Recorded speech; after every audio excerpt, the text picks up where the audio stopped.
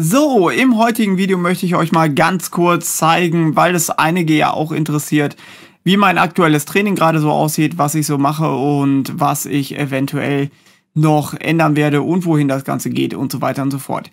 Also, heute haben wir den 16. Januar. Am 18. Januar ist der Marathon, ach nicht Januar, sondern Februar ist der Marathon bei den Wertlicher Straßenläufen. Dem würde ich gerne mitlaufen. Also noch einen Monat jetzt mich vorzubereiten auf den Marathon. Da bin ich doch mal gespannt, aber ich bin guter Dinge. Wie sieht's aus? Und zwar hatten wir ja erst den Dezember hier oben. Also man sieht hier, November war richtig gut mit Training. Da habe ich mich richtig gut vorbereitet auf den Ultralauf. Der war, glaube ich, am 11., nee, am 12. war der. Und danach habe ich immer noch weiter trainiert für den Getting Tough am 2. Dezember hier und habe da eben richtig Gas gegeben. Nach dem Getting Tough habe ich mir gedacht, so, jetzt machst du erstmal eine Woche einfach locker, weil ich natürlich dann auch richtig fertig war, Muskelkater hatte und so weiter. Habe dann erstmal gar nichts gemacht. Hier noch einen kleinen Wettkampf gemacht, 10 Kilometer in Burg Steinfurt. War schon richtig schwer, weil ich da auch Kohlenhydrate gegessen habe. Also ab hier war ich eigentlich ja, raus aus der Ketose, bin dann aber mal kurz wieder reingegangen, bin dann wieder rausgegangen wegen, wegen Weihnachten und so weiter. Und man kann eigentlich sagen, dass ich dann hier so die letzten, ja, vier Wochen eigentlich im Dezember überhaupt nichts gemacht habe an Training und auch mit den Kohlenhydraten sehr übertrieben habe, also auch hier nicht mehr in Ketose war war eben meine Off-Season jetzt mal über Weihnachten und den Winter nach den ganzen Wettkämpfen einfach mal zu sagen, ich gucke einfach mal, ich lasse es mir einfach mal gut gehen und guck mal, wie es mir geht. So, dann habe ich eben nur leichte Sachen gemacht, habe hier noch ein paar Intervalle mit jemanden gemacht, aber ab dann war es eben gar nichts mehr. Ähm, da waren nur 10 Kilometer ganz locker die ganze Zeit hier in 46. Auch am Weihnachten habe ich nur 5 Kilometer gemacht, auch die Tage danach. Nur ganz locker, das fiel mir schon richtig schwer hier ähm, habe ich mir auch immer alles notiert, quasi, dass das Ganze richtig träge und schwer war mit den ganzen Kohlenhydraten. Die Intervalle wurden auch immer langsamer und langsamer. Also am Anfang hatte man hier noch ein Tempo so von 2,50 oder so. Und am Ende war es dann wirklich nur ein Tempo von über drei Minuten.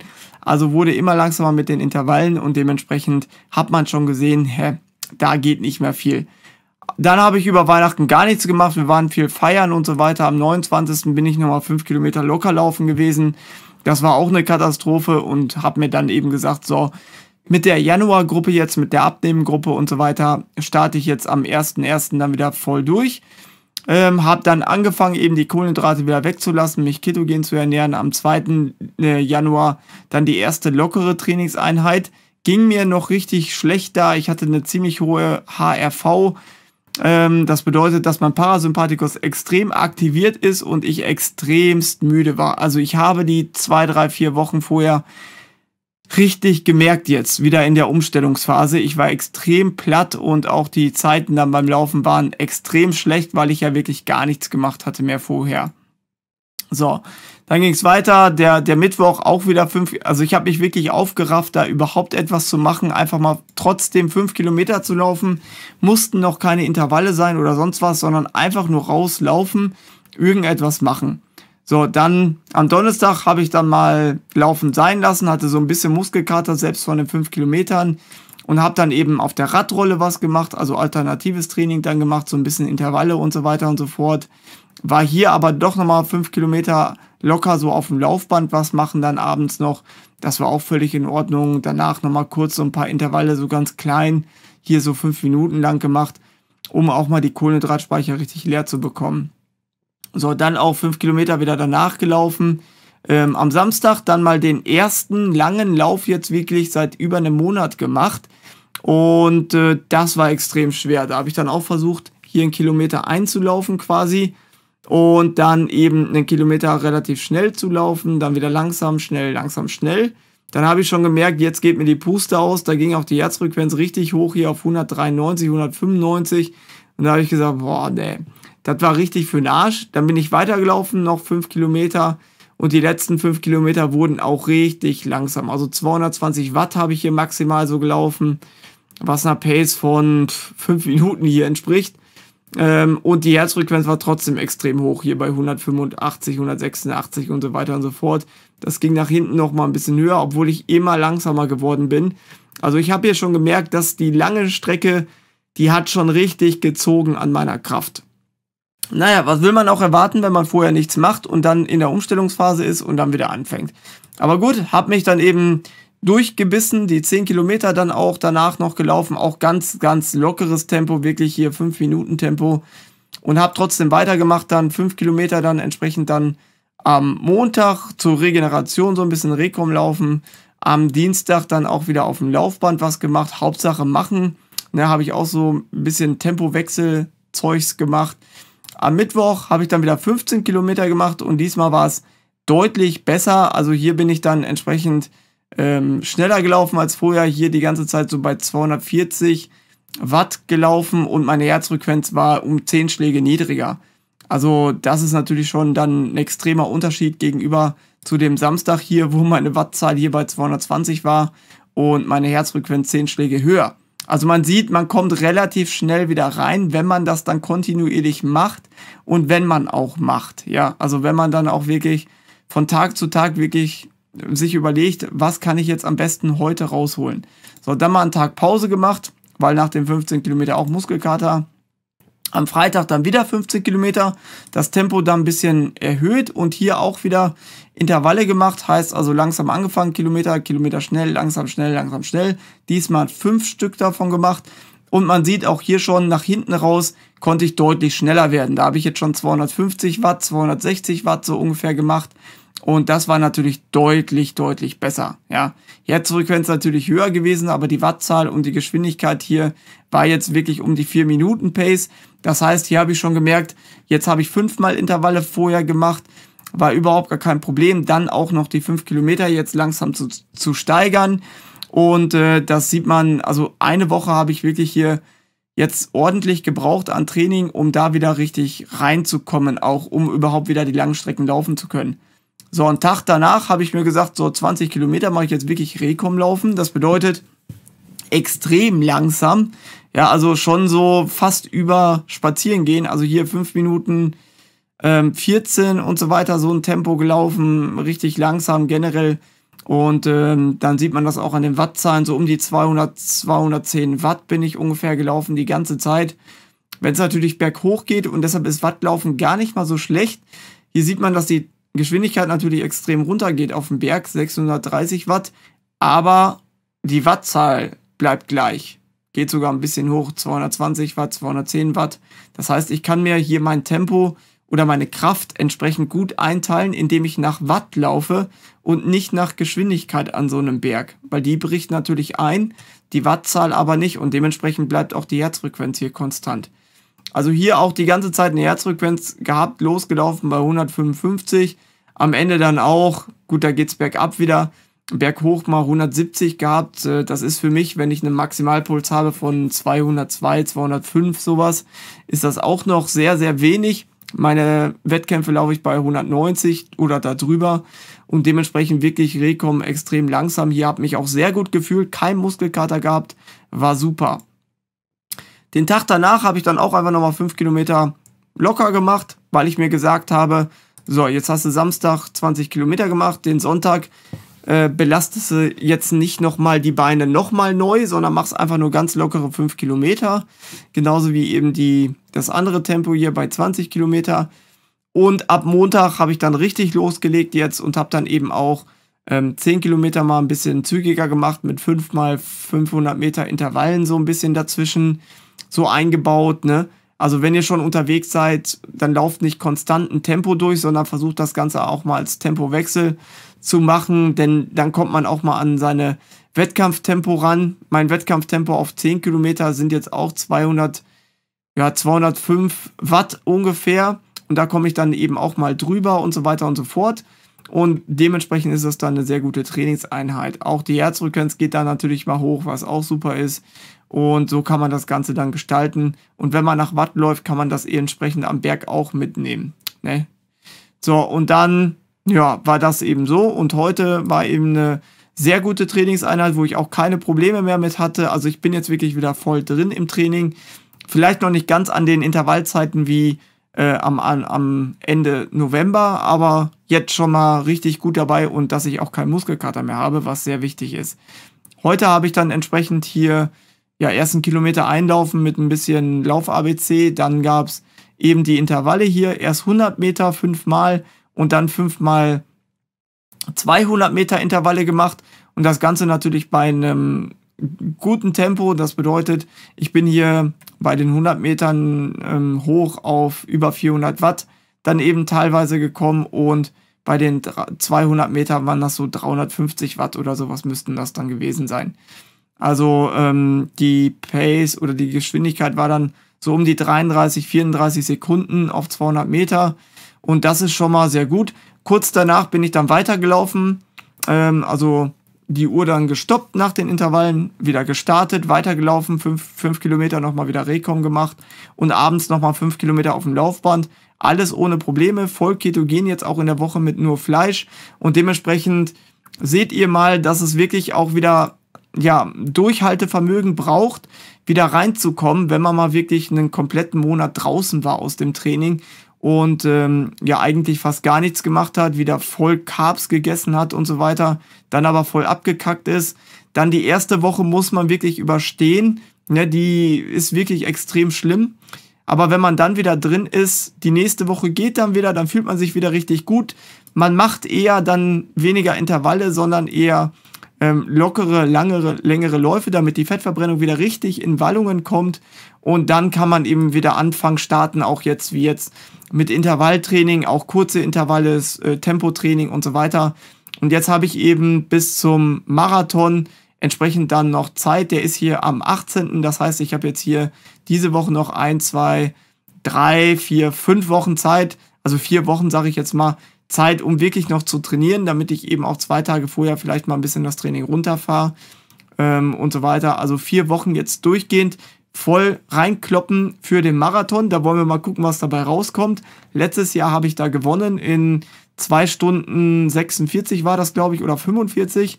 Und diesmal möchte ich auf jeden Fall drunter bleiben, unter die zwei Stunden 45, vielleicht sogar mal an die 240 ran und dann mal gucken, was noch so geht. Ja, ansonsten über die Zeit sieht man auch das Training ähm, beim Trend dann entsprechend sehr gut. Beziehungsweise ja, beim Trend müssen wir gucken, da kann man eben auch alles sehr gut nachvollziehen, quasi was die einzelnen Trainingseinheiten betrifft. Kann sich hier, deshalb ist Golden Cheater eben auch so gut, kann sich hier mal angucken, wo man denn seine Critical Power dann mal so zwischendurch erreicht hat. Gehen wir mal nur aufs Laufen. Ähm, wie sich das dann entsprechend erhöht hat oder nicht erhöht hat. Also hier sieht man bei 294 bin ich die ganze Zeit stecken geblieben, bin ich dann irgendwann mal gelaufen bei einem Wettkampf, 5 Kilometer und äh, bin bis jetzt noch nicht drüber gekommen. Und die 5 Minuten Maximal Wattleistung und so weiter kann man dann eben sehen, wo sich die äh, höchsten Zahlen dann tummeln. Also hier auch natürlich bei dem Wettkampf, bei dem Wettkampf im Burg Steinfurt hier.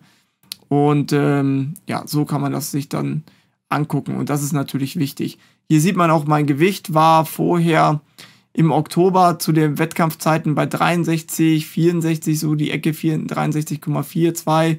Bin ich nochmal runtergegangen auf 62 zu den wichtigen Wettkämpfen zum Ultralauf hier 61,9 war dann das niedrigste, was ich dann eben voll ketogen auch bei dem Ultralauf dann gelaufen bin. Das war ja mein Ziel. Danach sieht man, dass ich die Kohlenhydrate gegessen habe, deshalb direkt 65 Kilogramm. Und ähm, ja, das hat sich dann so fortgesetzt. Ne? Dann bin ich die ganze Zeit Kohlenhydrate, dann bin ich einmal irgendwo, habe ich dann wieder zwischendurch immer mal so ein paar Tage wieder Ketogen gemacht. Bin aber dann wieder zurück, weil am Feiertage, Wochenende, wir sind essen gegangen, Weihnachtsfeier, was weiß ich nicht was. Und äh, dementsprechend war mein Gewicht die ganze Zeit bei 65, ging dann hoch, hoch, hoch. Und ähm, hab schon richtig zugenommen da. Ne? Jetzt aber dann eben entsprechend im Januar das Gewicht dann auch wieder runtergedrückt. Da waren wir wieder auf 62,5 gewesen. Ähm, und jetzt wollen wir mal gucken, wo das hingeht. Ich möchte auf jeden Fall ein neues Tiefstgewicht erreichen und den Marathon mit 60 Kilo oder weniger dann laufen. Wollen wir mal gucken, ob das klappt. Das ist mein Ziel auf jeden Fall. Sollte in vier Wochen jetzt eigentlich machbar sein. So. Ja, das dazu auf jeden Fall. Ähm, beim Stress sieht man das sehr gut, wenn man sich das mal anguckt. Hm, letzten Wochen, letzten zwei Monate, letzten drei Monate. Genau, hier kann man das dann auch sehen. Also im November, Oktober, November habe ich eben sehr gut den Körper gestresst quasi. Ähm, dann habe ich nach dem, ja, nach dem Getting Tough war das genau, habe ich dann eben nichts mehr gemacht hier. Dann kam noch einmal der 10 Kilometer Wettkampf und danach war wirklich gar nichts mehr an Training. Und jetzt im Januar geht das Ganze eben wieder hoch und dementsprechend wollen wir mal gucken, was dabei rauskommt. Sonst noch irgendwas? Äh, eigentlich nicht. Anaerobe und aerobe Leistung ist ebenfalls natürlich dann wieder runtergegangen. Das ist halt so ein Rechenmodell, was dann eben hier drauf so basiert. Ne, muss man sich jetzt nicht unbedingt mit beschäftigen, aber ansonsten, ja, auch die berechnete VO2 Max geht natürlich runter, solche Dinge. Hat aber nichts unbedingt zu bedeuten, denn man bekommt seine Leistung schon relativ schnell wieder, wenn man denn wirklich dann auch reinhaut und das Ganze dann entsprechend macht und den Körper dann auch wirklich wieder richtig unter Stress setzt. Ja, das waren bis jetzt mein Training.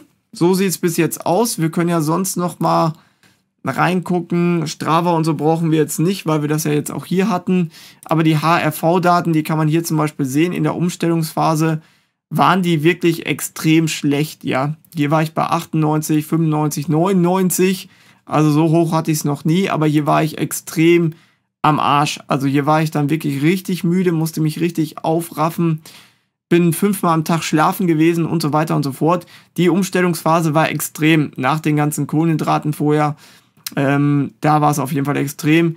Die neuen Daten habe ich jetzt noch nicht eingetragen, habe ich aber alle gemessen.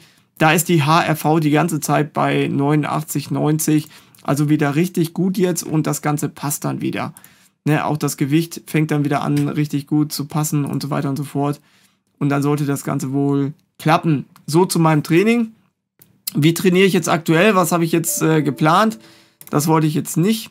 Geplant habe ich jetzt eben entsprechend weiterzumachen, wie jetzt heute mit den Intervallen. Ich möchte eigentlich versuchen, jeden Tag so Intervalle mit einzubauen. Bedeutet, ich versuche die ja, erst eine Trainingseinheit zu machen, fünf Kilometer locker. Dann gehe ich auf die Bahn, mache da ein paar Intervalle, kurze Intervalle, 200 Meter, 300 Meter, 400 Meter. Äh, gehe danach nochmal laufen, fünf Kilo Kilometer, so Rekomlauf, wieder Regeneration. Und ähm, dann mache ich vielleicht abends nochmal einen längeren Lauf oder eben auf dem Rad oder sowas. Krafttraining gehört jetzt auch wieder dazu. Krafttraining habe ich jetzt auch wieder eingebaut. Habe ich heute auch noch gemacht. Also heute vier Trainingseinheiten dann insgesamt. War aber super, kein Problem, ketogen das Ganze durchzuziehen. Und das ist eben der Vorteil, weil vier, vier Trainingseinheiten kriegst du nicht hin, wenn du dich dazwischen immer wieder mit den Kohlenhydraten zuballerst. Da bist du voll träge, so wie es bei meinen Zeiten im Dezember war, da kriegst du überhaupt nichts hin. Und dementsprechend äh, wollen wir mal gucken. Ich werde das voll ketogen durchziehen, jetzt bis zum Marathon. Ich werde den Marathon ebenfalls voll ketogen laufen. Ähm, ich werde auch ein Blutzuckermessgerät, habe ich jetzt wieder bestellt, den Freestyle Libre. Werde mir den auch wieder einpflanzen und dann wollen wir, kann man das Ganze eben auch sehr gut nachvollziehen, was man da eben auch ge ge gegessen hat, ob jetzt Protein und so weiter eine entsprechende ähm, ja, Problem macht oder nicht oder wie auch immer. So. Wenn euch sonst noch irgendwas interessiert, so an Daten oder so, könnt ihr das gerne schreiben. Dann kann ich das gerne noch mal äh, entsprechend aufnehmen. Aber man sieht zum Beispiel hier sehr gut, dass die Wattzahl natürlich mit der Herzfrequenz sehr gut korreliert. Was gut, was bei Intervallen jetzt nicht unbedingt äh, ähm, ja, was bei Intervallen auf jeden Fall zu erwarten ist eigentlich. Aber auch ansonsten, äh, wenn man jetzt nicht unbedingt wie hier zum Beispiel, das einzige Problem beim Laufen mit Watt ist eigentlich, wenn du extrem Gegenwind oder so hattest. Hier oben hatte ich extrem Gegenwind, ja, da bin ich so langsam geworden.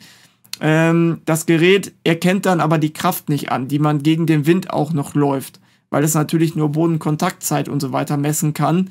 Aber wenn du gegen den Wind natürlich läufst, hast du deutlich mehr Kraft. Wenn du dann aber Rückenwind hast, dann geht das Gerät natürlich auch mal richtig steil und zeigt dir an, ey, du läufst gerade 320 Watt und das voll easy, obwohl das natürlich nicht richtig ist, weil du dann entsprechend auch Rückenwind zum Beispiel hast. Ja. Wenn du aber Berge läufst und es ist äh, wenig Wind und so weiter, ist das eine sehr gute Sache, um auch seine Pace dann zu halten. Und äh, von daher kann ich auch nur empfehlen, sich das vielleicht mal anzugucken. Von Garmin gibt es jetzt auch, glaube ich, einen etwas günstigeren Wattmesser. Muss mal gucken, welche Geräte da vielleicht am besten geeignet sind. Der zeigt anscheinend auch ein bisschen hohe Werte an. Ja, muss man sich Testberichte mal angucken. Wenn euch das Thema aber interessiert, ist das ähm, auch eine sehr interessante Sache. Ja, das zu meinen Trainingseinheiten. Ihr seht, ähm, dass Ketogen jetzt alles wieder voll losgeht. Ne? Den Dezember lasse ich jetzt hinter mir war eine schöne Zeit, Herr Dezember, war aber auch eine Scheißzeit, weil man wirklich gemerkt hat, dass diese ganze Fresserei und so, dass die einen einfach überhaupt nicht weiterbringt. Also ganz ehrlich, man, man ist dann beim Chinesen mit Freunden und so weiter. Ich habe jetzt wirklich mal gesagt, ich mache jetzt mal drei Wochen wirklich Pause auch, äh, na, gerade nach den richtig harten Wettkämpfen, nach dem Ultralauf, nach dem Getting Tough und was da nicht alles war. Wirklich mal Pause machen, Off-Season, fertig. Aber das tut einem überhaupt nicht gut. Also da zumindest im Tritt bleiben und, und irgendwie alle zwei Tage mal fünf Kilometer, zehn Kilometer zu laufen, das sollte man schon machen. Andere Sportarten mal machen oder so, aber komplett aufhören, das ist schon eklig gewesen, auf jeden Fall. Vor allen Dingen hat man sich wirklich die ganze Zeit richtig fett gefühlt. Man, man war richtig träge, müde den ganzen Tag über. Ihr habt es gesehen an den HRV. Das kann man ja alles messen. Das ist ja alles wirklich extrem nachweisbar, wenn man die Daten eben dann auch nimmt dass das extrem scheiße einfach ist. Und ähm, ja, was soll man dazu da noch sagen, ne? Wir kontrollieren das, wenn euch noch irgendwas interessiert an irgendwelchen anderen Daten. Ähm, ja, ganz kurz wollte ich eigentlich erzählen, habe ich jetzt vergessen, wie ich meine Trainingseinheiten jetzt planen werde. Ich werde polarisierendes Training eben machen. Das bedeutet, ich werde ähm, sehr harte Trainingseinheiten machen, ähm, die dann aber auch ja meistens nicht konform mit dem gehen, was jetzt so in den Lehrbüchern steht. Das bedeutet auch die Bahnintervalle, die ich hier gemacht habe. Das sind jetzt 200 Meter Zeiten von hier 33 äh, Sekunden oder sowas. Ja, und dann hörst du halt immer, ja, du musst deine Intervalle in deinem 5 Kilometer Tempo machen, in deinem 10 Kilometer Tempo machen. Ja, drauf geschissen. Was soll der Körper denn 200 Meter in 5 Kilometer Tempo machen? damit kommt er ohne Probleme klar. Er muss gefordert werden. Ich möchte meinen Körper dann eben bis an die Leistungsgrenze auch bringen, dass er dann auf den 200 Metern wirklich auch alles rausholt, weil sonst bringen mir die 200 Meter nichts. Ne? Da mache ich die Pausen da eben ein bisschen länger, aber dafür werden eben die ganzen Mitochondrien, die ganzen Energiewege deutlich besser angesprochen, als wenn ich da einfach nur die 200, Kilo, äh, 200 Meter jetzt in einem lockeren ja, was heißt lockeren, aber in einem 5-Kilometer-Tempo mache und dann hier 40 Sekunden laufe oder 50 oder 45 Sekunden laufe. Da bin ich nicht so von überzeugt und deshalb baue ich selbst mit der Langstrecke baue ich trotzdem 100 Meter, 200 Meter, 400 Meter mit ein und mache nicht nur 1000 Meter Intervalle. Also mein Ziel ist es eigentlich 200 Meter, 1000 Meter oder 2000 Meter Intervalle zu machen plus diese ganz langen ähm, lockeren Läufe wo ich dann aber auch mal ein paar Intervalle mit einstreue. So, das ist das Ziel. Ähm, ja, unterschiedliche Systeme ansprechen, aber immer wieder trotzdem den Muskel natürlich auch maximal irgendwie reizen. Also davon bin ich einfach überzeugt, weil es mich auch damals in meiner Jugend als 400 Meter Läufer gelehrt hat, dass ich auch nur 400 Meter ballern kann und trotzdem auf einem Halbmarathon gewinnen kann. Also das war eigentlich auch möglich, ohne dass ich mal 10 Kilometer gelaufen bin oder so. Ähm, dementsprechend werde ich das auch beibehalten und werde euch natürlich unterrichten, was die ganze Sache betrifft. Und das ist der Fehler, den ich eben von vielen Leuten auch höre, wenn die mich fragen, hey, ich werde nicht schneller auf 10 Kilometer und so. Ja, bau einfach mal Intervalle ein. Also wenn du einfach nur 15 Kilometer, 20 Kilometer jetzt locker laufen gehst, ja, dann bringt dir das nicht so viel auf den 10 Kilometern. Du solltest schon wirklich auch das Ganze mal über dein Tempo machen, also über deinen 10 Kilometer Zeiten, dann entsprechend die Intervalle auch knallen. Ne? Egal, ob es jetzt 500 Meter Intervalle sind, 200 Meter Intervalle mal für die Ökonomie auch, ne, für die Laufökonomie und so weiter und so fort. Das ist auf jeden Fall eine wichtige Sache, das zu machen. So, langes Video, langes Video über mein Training. Ich hoffe, euch hat das was gebracht. Wenn ich irgendwas vergessen habe, schreibt es unten rein. Wir werden sehen. Ich werde euch äh, Ende Januar nochmal berichten, wie es aussieht, die letzten, wie es aussah, die letzten zwei, drei Wochen jetzt hier. Und ähm, werde euch zeigen, wie ich mich entsprechend gesteigert habe oder nicht. Und ob das mit dem Marathon dann klappt, das werdet ihr auch sehen. Wenn es jetzt nicht im Arsch strömenden Regen irgendwie regnet oder schneit oder so, dann werde ich da definitiv mitlaufen. Ansonsten kann natürlich immer was dazwischen kommen, dass man nicht mitläuft. Ähm, ja, das dazu. Ich hoffe, euch hat das gefallen. So ein kleiner Einblick auch mal in mein Training.